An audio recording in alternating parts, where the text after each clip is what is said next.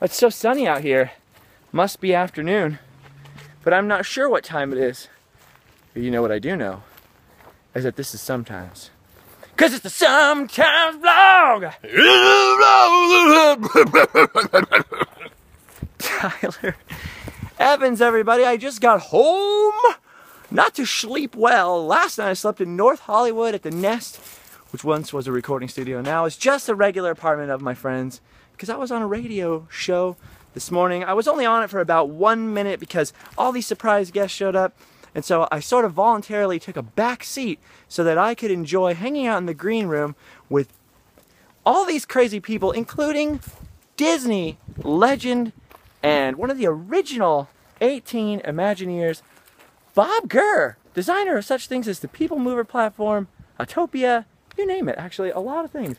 Mr. Bob Gurr. The interesting thing about that is, afterwards, we went to lunch. We were supposed to go to lunch, and I was a little bit late, and I rolled into the parking lot and found Bob Gurr wandering around all alone. Actually, I'll show you the video of that right now. Okay, lost in a parking lot trying to find a pho restaurant. And I found Bob Gurr, but we cannot find the pho place. Where is it? It's too big. You've been looking for half an hour, you said. Yeah, 30 minutes. Half an yeah, hour. I've been, I've been all over. There's, he, he said Asian fusion, but there's nothing that says Oh, here it Asian is. fusion. 9021 Pho. That's Oh, what it is. Well, that's the first place I went. What a name. Anyway, Yeah. here we are. Would you like to say hi, Bob? Hi, how you doing? We're almost back there again. hi.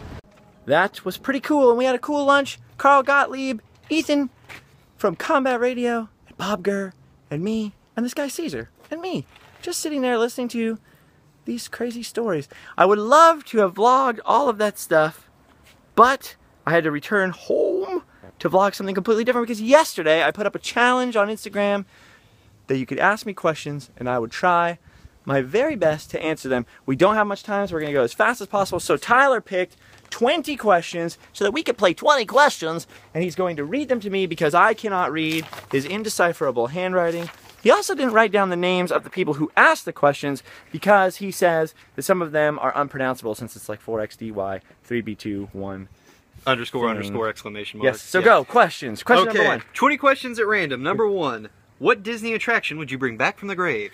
Uh, Mine Train Through Nature's Wonderland because it was huge, fantastic, and I love attractions like that that are slow, half dark ride and half environmental ride.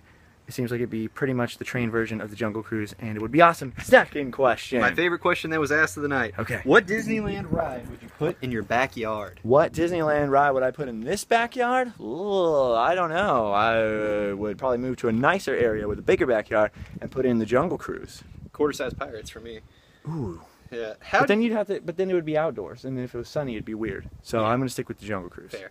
Question number three. How do you find out all your Disneyland facts and secrets? How do I find out all the Disneyland facts and secrets? A lot of you tell them to me. Number one. Number two, I go there a lot. I grew up here. I had a lot of friends' parents who worked at the theme park. I have friends whose parents were opening day cast members. And then I've met a couple of Imagineers and all kinds of weird mega nerds like Jeff Heimbach and all kinds of things. There's all kinds of wonderful books, websites. Someday I think we need to put like a giant, massive list of crazy so. Disney fact resources on the website. Let's flip to the next question. Question number four. Do you remember the first ride you rode at Disneyland? I do not remember the first ride I rode at Disneyland because the first time I ever went to Disneyland, I was a tiny little baby in the 1980s. But I'm sure that it was something like the Disneyland Railroad. I tried to ask my mother what the first ride I went on because that was one of the first questions I saw yesterday.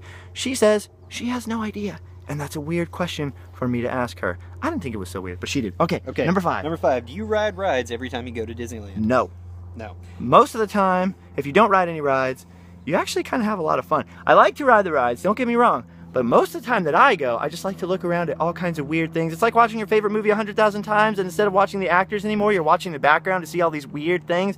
It's kind of how it is at Disneyland. Plus, if you don't ride any rides and you're not standing any lines, you can sit around and enjoy all the artistry and the magic of the environments at Disneyland. All right. Fair answer. Question number six, the most difficult one I'm going to ask you today. Okay. If you could ask Walt Disney one question, what would it be? Whoa. If you could ask Walt Disney only one question, what would it be? Skip. Uh, I'm gonna I know my answer, yeah. Well, what would you ask him? I would ask him what he meant by Kurt Russell. Oh, that's true. Okay, so there's this rumor, this myth, this legend that's possibly true. I don't know because nobody's ever seen a photograph of this note. But the rumor is that Walt Disney's last words weren't even spoken, but written down next to his bed as he lay dying in the hospital. He wrote down, Kurt Russell. Kurt Russell? Now, was Walt thinking of a new movie? Was Walt thinking of an idea to edit a movie? Did Walt want to write Kurt Russell a personal note? Nobody knows. That's what very, ask very him. interesting. We got to ask Kurt Russell about that. Okay. Yeah, okay. Number seven. Easy one. What's your favorite Number eight. band? My favorite band, easy. The Clash. Do that one. Number eight. Do you ever plan on visiting Walt Disney World? I do plan on visiting Walt Disney World as soon as possible. I've only visited once for one day before. It was very surreal and weird. I would love to visit again and film all kinds of wonderful videos, except for it would cost a lot of money. Okay, first of all, there's plane tickets. Yeah. Or driving across the country, which would probably be better because then you could stop and film a lot of other weird stuff Yeah. along the way.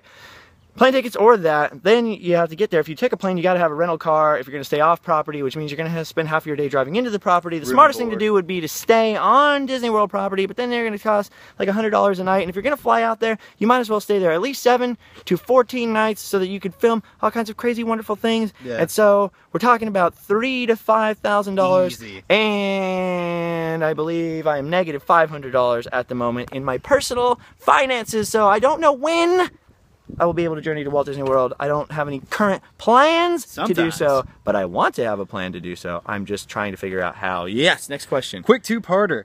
Do you ever? Do people ever look at you strangely when you're making your videos? Part one, part two. Has a cast member ever asked you what you were doing? People do look at me strangely all the time, anyways, whether I'm filming a video or not, because I'm usually doing the same type of thing, only not talking to a camera. When I am talking to a camera, all kinds of people look at me strangely. If you look in the background of both Randomland videos, but especially the vlogs, because I don't usually stop them and edit them like this, you can definitely see people giving me some weird looks. What was the second part of the question? I forget already. Did a, has a cast member ever asked you what you were up to? Yes, cast members ask me all the time, like, do you need me to take a picture for you? Because the Randomland camera looks like a picture camera. And I say, no thanks, it's a video. And then they feel weird. Let me say this too. Cast members are the super most awesome people in the entire world. And a lot of them now have seen the videos or know what I'm doing just because of seeing me around so much. And they are the friendliest, most helpful, most kind, wonderful people in the world. And the rudest people to cast members are usually annual pass holders or people who feel like they know a lot about Disneyland. are Like, you don't know how to do your job. Please don't be rude to cast members. No, they're really messed awesome. up. They deal with a lot of horrible agonizing things all day long. They stand Mm-hmm. up all day and they're on stage acting very professional, very friendly. Cast members are the best. If Next you get a cranky cast member, just be nice to them anyway. There's probably a reason they're cranky. It's not their fault. Pebble in their shoe. Yeah, next. Okay, we're halfway through the list now. Okay, okay, we How gotta did hurry. you- how did you meet Adam Tyler and Jeff Heimbach? Okay, how did I meet Tyler Evans? I was in a band called The Scarred. We were on tour in April of 2006. We played a little town called Dalton, Georgia in the giant trade and convention center to a large crowd and then we slept at Tyler Evans' house when he was 16. He really wanted to go to our show the next day in Savannah, so we took him there because we had to drive back up the other way and that's how we became friends forever. I met Jeff you confirm Heimbach that? because of Adam the Woo. They were hanging out and I met Jeff Heimbach and I met Adam the Woo because four years later in 2010 from the, from that tour I'm referencing four Yeah, years after that yeah. We went on tour with Adam's band called The New Threat because Adam found out that I had a website of Back to the Future filming locations and he decided that two Omega nerds such as us in bands should team up and tour together. He was just starting the videos and now of course he has become Adam the Woo. But back then he was just Adam Daewoo. Guy's a freaking And we were friends. Okay. Okay, a number 11. What is your favorite Disney movie? My favorite Disney movie changes all the time. Right now, at this moment, when I think about my favorite Disney movie, I'm assuming they mean animated. They could. They could mean Pixar, animated, or anything. Live action. Ooh, if I had to pick one movie to watch right this second, for some reason I'd watch Finding Nemo. That's the best answer I can give because I love a lot of Disney movies. As a kid, though, I would say my favorite classic animated movie was either The Jungle Book or Great Robin Hood. Yeah. Okay, Okay.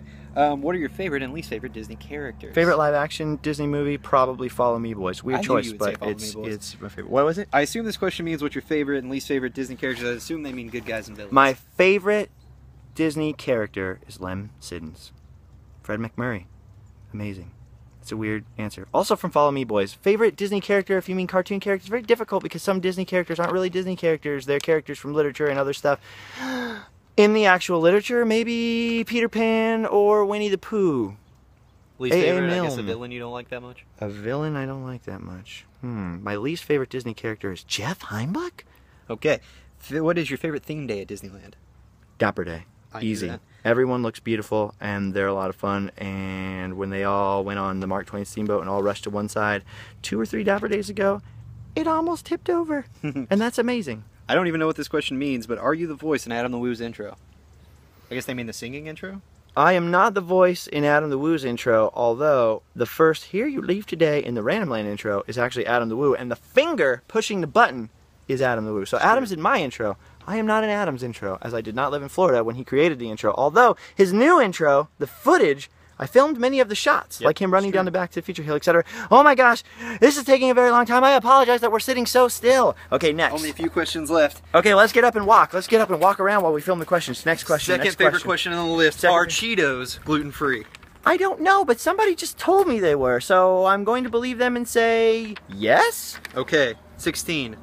Why did you change your hair? I didn't change my hair. I actually let my hair grow out and I did not keep bleaching it as I cut it. The- Speaking of cuts, did you notice this cut? Whoa, that was crazy. Anyway, no, I just wanted to see what my natural hair color looked like. We have four more questions. We don't have very much time. Go, Tyler. We have like 30 seconds. Hurry. 17. How long can you hold your breath? How long can I hold my breath?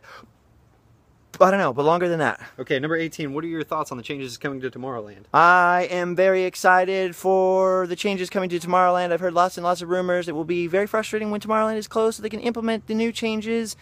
If half the rumors are true, Tomorrowland is going to be awesome. Yes. 19. When is your next meetup? I don't know. Anytime you want to meet. Hmm. We should have a potluck of some kind. I would a love potluck. I don't know. Uh, TBD. Go. Okay, number 20. Last question. If your house burned down right now, what three things would you grab? If my house burned down right now, I would grab my camera, my computer, and my son. and I would leave Tyler to burn. And the final question is what would I ask Walt Disney if he were alive today Through science. through science? I would ask Walt Disney to say hello to all of you on this vlog. That's kind of a cop out answer. I'll answer that question better in the future. Okay, I really got to go. There's a couple questions. There were so many more questions. I will answer more questions. And tomorrow's vlog, I will make Tyler pick out at least five more questions. That's enough questions for now because I'm just running out of space on the camera. That's why all these jumpy cuts. I keep having to delete pictures that I don't want to delete. I gotta go now. Thanks for watching. Subscribe for more Sometimes vlogs. Make sure to go check out Randomland, youtube.com, blah, blah, blah.